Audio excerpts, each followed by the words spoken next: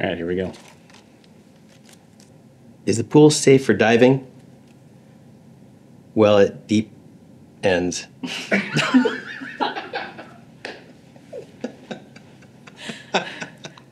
Poor delivery, but but it did hit me. Why are elevator jokes so good? They work on so many levels.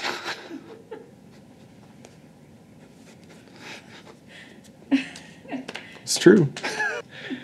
I have one of my own. Um, why do dads wear carry an extra pair of socks when they go golfing? In case they get a hole in one. That one's in there. Is- ah, yeah, Google. What does a nosy pepper do? It gets jalapeno business. Hold on, I think that it, it gets jalapeno business. Why is sand so optimistic? It has like. Sorry. Am I the only one my wife has ever dated?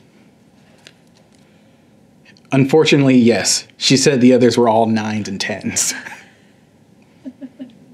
Why is sand so optimistic? It has a can do attitude. It gets jalapeno business. Does it get funnier every time I say it? Why do melons have weddings? Because they have cantaloupe. Oh, because they they can't. You can edit it. Why do melons have weddings? Because they can't elope. How do you weigh a millennial?